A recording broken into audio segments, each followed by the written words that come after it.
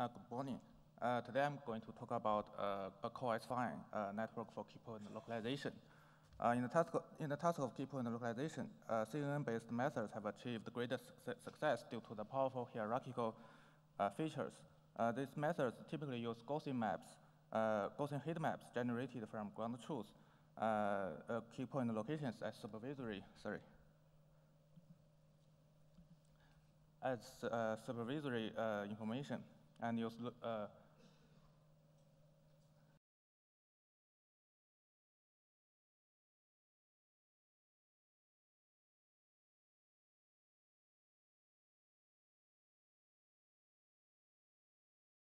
uh, traditional key point uh, localization methods uh, use uh, heat maps and uh, outlaws to train the network. However, the training converges slowly, but and the network may, may, may not be able to learn discriminated features.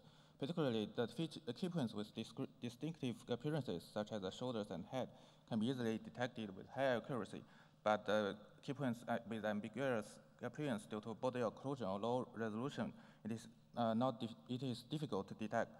Uh, in our work, we propose to learn part detectors uh, using multi-level uh, loose supervisions. Our methods aim to lo locate uh, key points with from uh, coarse and fine re representations. Uh, we de develop a key point localization composed of uh, several coarse detector branches and a uh, fine detector branch. Uh, the coarse detector branches is built on top of feature layer in the CNN, and the fine detector branch is don't built on top of multiple features.